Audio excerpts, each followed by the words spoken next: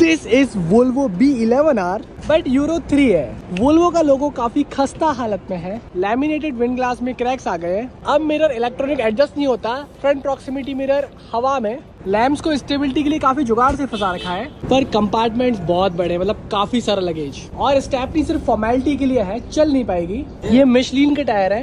ये सी के टायर है। और ये जे के टायर है। थर्टीन लीटर इंजन से आवाज़ सुन सकते हो। बैटरी बॉक्स दोनों तरफ़ से फ्यूल भरने की जगह लेफ़्ट और राइट दोनों में होती है।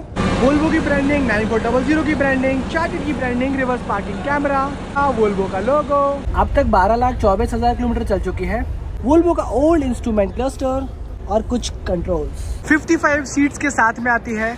और जब ली थी तब इसकी कॉस्ट थी एक करोड़ पंद्रह लाख रुपए। अब काफ़ी ज़्यादा बढ़ गई। ऐसी और इंटरेस्टिंग वीडियोस के लिए आप मुझे नीचे फॉलो कर सकते हो।